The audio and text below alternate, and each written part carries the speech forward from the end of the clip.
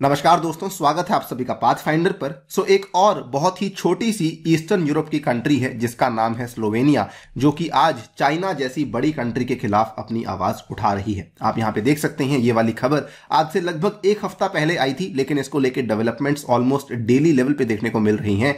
यहाँ पर China is deeply shocked by the plan Taiwan office in Slovenia so Slovenia नामक ये country है, इसने क्या किया है कि इसने ताइवान के रिप्रेजेंटेटिव ऑफ़िस को अपनी कंट्री में खोलने का ऐलान किया है, जिस चीज़ के चलते चाइना काफ़ी ज़्यादा यहाँ पे शॉक में आ चुकी है। समझेंगे कि ईस्टर्न यूरोप की कंट्रीज़ ऐसा क्यों कर रही हैं? ऑल्सो आपको बताऊँगा कि it is not just Slovenia बल्कि और भी कई सारी कंट्रीज़ हैं, जो कि आज चाइना के खिलाफ उतरने के लिए तैयार हो चुकी हैं। सो इन्हीं दो चीज़ों को समझने के लिए आइए स्टार्ट करते हैं इस वीडियो को। मेरा नाम है अनिरुद्ध। यदि आप लोग इस लेक्चर की पीडीएफ को डाउनलोड करना चाहते हैं तो यहाँ पर दिए गए टेलीग्राम चैनल के माध्यम से कर सकते हैं। इसके अलावा आप लोग जुड़ सकते हैं using this particular handle on the Unacademy app as well right तो सबसे पहले ईस्टर्न यूरोप का एक बेसिक सा मैप देख लेते हैं। आजकल काफ़ी ज़्यादा सुर्खियों में चल रही है ये वाली country that is the country of Ukraine खैर, जिन कंट्रीज़ के ऊपर हम लोग यहाँ पे ध्यान देना चाहते हैं, सबसे पहले तो आप लोग बड़ा ध्यान से देखिएगा, ये वाली जो कंट्री जिसको कि हम लोग लिथुआनिया बोल रहे हैं, इसके बारे में चर्चा करने वाला हूँ। और यहाँ पर बहुत ही इंपॉर्टेंट बाल्टिक सी देखने को मिलती है।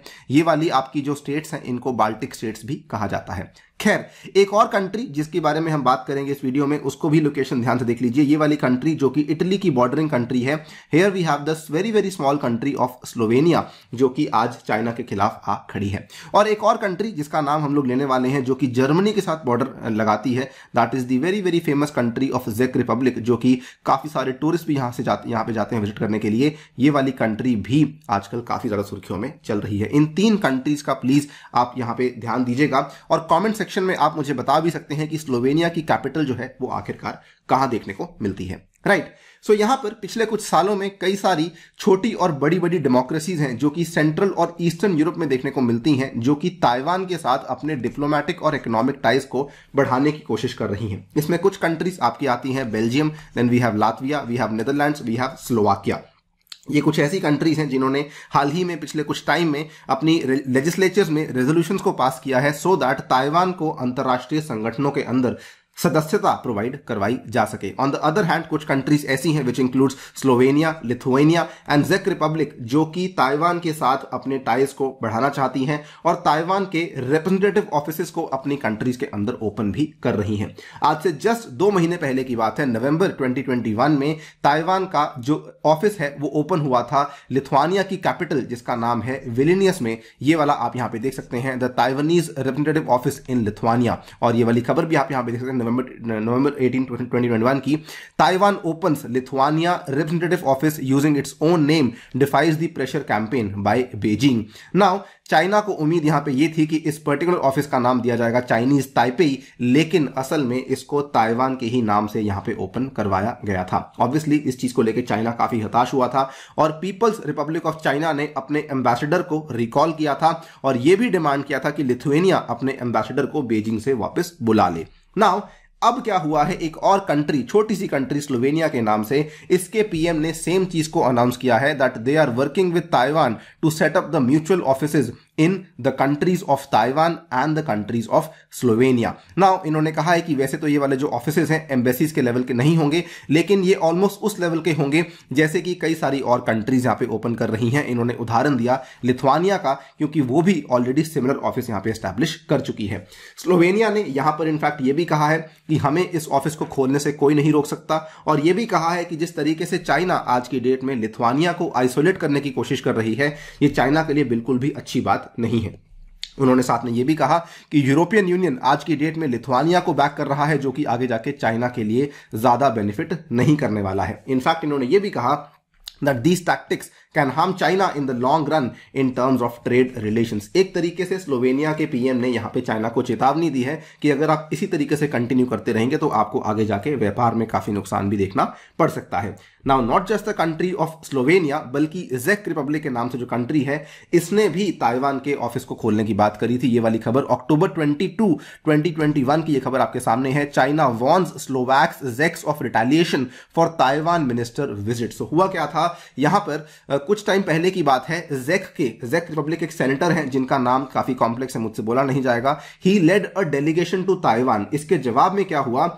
इनफैक्ट ये जब ताइवान गए डेलीगेशन के साथ तो इन्होंने वहाँ पे स्पीच में ये घोषित कर दिया कि मैं तो भाई एक ताइवानीज ही हूँ। इसके जवाब में क्या हुआ था? अक्टूबर 2021 में ताइवान के जो फॉरेन मिनिस्टर है, जिनका नाम है जोसेफ वू, इन्होंने एक बिज़नेस डेलीगेशन को लीड किया और ये जा पहुँचे जैक रिपब्लिक। और जब ये चीज़ हुई थी, उस टाइम पे चाइना ने जैक रिपब्लिक को कहा कि भाई, हम आपसे बहुत नाराज़ हैं क्योंकि आपने ताइवान के फॉरेन मिनिस्टर को यहाँ पे अपनी कंट्री में होस्ट किया है। So as you can see कई सारी कंट्रीज़ हैं यहाँ पर। पहले Lithuania then we have Slovenia. और अब आपके सामने जैक रिपब्लिक भी सामने आई, जिसने कि ऑलमोस्ट यहाँ पे ताइवान को सपोर्ट किया है। नाउ द प्रॉब्लम कि ये सारी की सारी कंट्रीज़ असल में ऐसा क्यों कर रही हैं? देखिए, इसको समझिए, असल में सबसे पहले इसमें आता है आइडियोलॉजिकल रीजंस ताइवान की ही तरह कई सारे देश जो कि सेंट्रल और ईस्टर्न यूरोप में रहते हैं, ये असल में एक टाइम पर वन पार्टी की कम्युनिस्ट रजीम के द्वारा रूल किए जाते थे। और सेंट्रल और ईस्टर्न यूरोप की जो कंट्रीज़ हैं, ये आइडियोलॉजिकली कम्युनिस्ट आइडियोलॉजी को अपोज करती हैं। और ये यूएसए के द्वारा जो लीड किया जाने वाला नाटो का ब्लॉक है, उसको आज की डेट में सपोर्ट करती हैं। ना इनका ये मानना है कि जो चीज़ ताइवान के साथ आज हो रही है, वही चीज़ हमारे साथ एक टाइम पे हुआ करती थी। इसीलिए आज हमें ताइवान को सपोर्ट करना चाहिए। ये तो है इनका आइडियोलॉजिकल रीजन लेकिन जो बड़ा कारण है, वो यहाँ पे असल में इकोनॉमिक रीजन है. एक ग्रुप बनाया गया था चाइना के द्वारा, जिस ग्रुप का नाम था 17 प्लस वन चाइना ने उम्मीद यहाँ पे ये करी थी कि इस 17 प्लस वन ग्रुप के माध्यम से ये सेंट्रल और ईस्टर्न यूरोपियन कंट्रीज़ के साथ अपनी ट्रेड और इन्वेस्टमेंट के रिलेशन को प्रमोट कर पाएगा. और ये वाला ग्रुपिंग जो है, असल में चाइना ने आज से लगभग दस साल पहले स्थापित किया था. इसमें जो सेवनटीन कंट्रीज़ हैं, ये सेंट्रल और ईस्टर्न यूरोप की कंट्रीज़ हैं.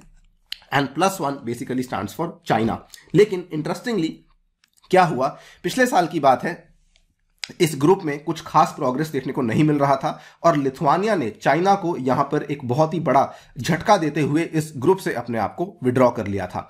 Disappointment over a lack of major Chinese investment has left the East European countries with little to lose by looking for other partners तो ये यहाँ पे काफ़ी हताश थे और लिथुआनिया के बाद ऑलमोस्ट ऐसा मान लीजिए कि ये वाला जो ग्रुपिंग है, ये काफ़ी हद तक इनएक्टिव भी हो चुका था। नाउ दूसरी तरफ़ ताइवान, जो कि दुनिया में एक बहुत ही बड़ा इलेक्ट्रॉनिक्स गुड का मैन्युफैक्चरिंग इंडस्ट्री होस्ट करता है उसने यहाँ पर इनको अच्छे मौके दिए इन कंट्रीज़ को जाके बोला कि हम आपकी कंट्रीज़ में इन्वेस्टमेंट करने के लिए तैयार हैं। ताइवान की जानी मानी कंपनी जिसका नाम है फॉक्सकॉन टेक्नोलॉजी लिमिटेड ये जा, जाकर के जेक रिपब्लिक में बोलती है कि हम लोग आपके यहाँ पे दफ्तर खोलना चाहते हैं हम लोग आपके यहाँ पे फैक्ट्रीज खोलना चाहते हैं। तो ऑब्वियस सी बात है कि ये वाली जो कंट्रीज़ थी इन्होंने ताइवान को सपोर्ट किया। एंड दैट इज़ वाई ये आज की डेट में ताइवान के ऑफ़िस को अपनी कंट्री में ओपन करने की बात कर रहे हैं। सो so, ये दो बड़े कारण हैं जिसकी वजह से हम देख रहे हैं कि जो कंट्रीज़ पहले एक टाइम पे चाइना को सपोर्ट करती थी, वो आज के टाइम पे डायरेक्टली ताइवान को सपोर्ट करने में आ उतरी हैं और चाइना के खिलाफ भी अपनी आवाज़ उठाने से पीछे नहीं हट रही हैं। इस चीज़ को लेकर चाइना का रिएक्शन क्या होगा? बड़ा ऑब्वियस रिएक्शन होगा in response to the recognition given to Taiwan by the East European countries China ने कहा है that the government of People's Republic of China is the sole legitimate government representing the whole of China and the one China principle is the political basis for Slovenia and the EU's relation with China इन्होंने यहाँ पर word use किया one China principle अब ये one China principal क्या चीज़ है? Basically one China principle या वन चाइना पॉलिसी एक ऐसी पॉलिसी है, जिसके तहत चाइना ये बोलती है कि असल में ताइवान कोई अलग प्रोविंस नहीं है ताइवान कोई अलग कंट्री नहीं है ताइवान जो है, वो असल में चाइना का ही हिस्सा है. लेकिन ताइवान अपने आप को डेमोक्रेटिक रिपब्लिक ऑफ़ चाइना के नाम से बोलता है, जिस चीज़ को अगेन चाइना यहाँ पे सपोर्ट नहीं करती है। तो इस पॉलिसी का इस्तेमाल करते हुए चाइना ने कहा है कि हम आग्रह करते हैं कि स्लोवेनिया और अन्य जो कंट्रीज़ ईस्टर्न यूरोप की हैं, वो वन चाइना के प्रिंसिपल को ही फॉलो करें। ना ये चीज़ ऑब्वियसली काफ़ी इंटेंस हो चुकी है बिकॉज़ लिथुआनिया एक छोटी सी कंट्री है, लेकिन इतना डेयरिंग कदम लिया बिकॉज़ वाई यूएसए और कई सारी यूरोपियन यूनियन के देश उसको सपोर्ट कर रहे थे। सिमिलरली आज स्लोवेनिया ने इस तरह का कदम लिया है।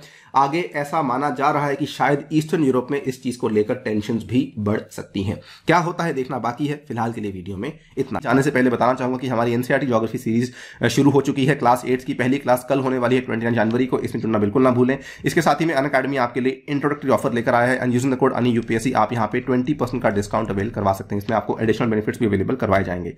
साथ ही में आइकॉनिक का एक साल का कोर्स पचहत्तर हज़ार का पड़ता है, जिसमें कि अन्य यूपीएससी कोड इस्तेमाल करके आप लोग टेन परसेंट का डिस्काउंट और पर्सनल गाइडेंस भी अवेल करवा सकते हैं। ये वाले बैचेस आपके लिए अवेलेबल करवाए जाएँगे। और साथ ही में आप आने वाले रविवार के दिन इस कॉम्बैट में हिस्सा list use code Ani UPSC thank you so much for listening stay tuned and stay safe.